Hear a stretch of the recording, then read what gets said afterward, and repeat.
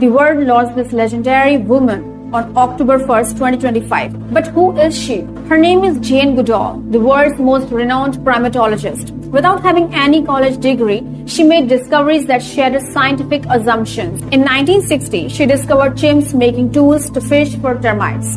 This shattered everything scientists believed about what made humans unique. She revealed chimps hunt meat, mourn their dead, and have emotions.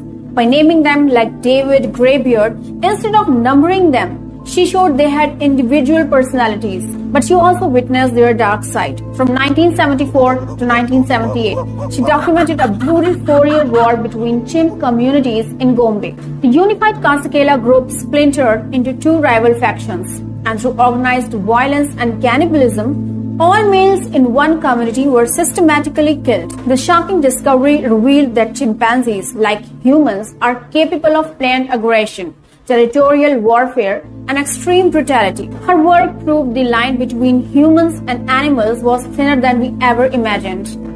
Follow me for more.